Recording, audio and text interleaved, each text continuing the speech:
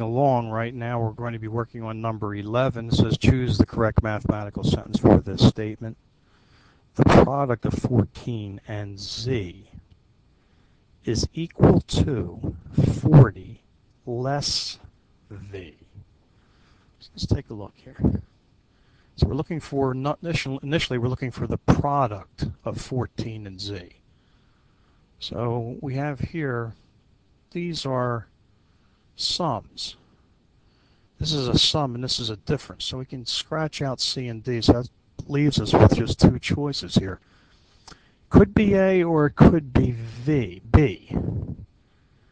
And uh, let's say we have the equal, 14Z is equal, okay, these are both the same.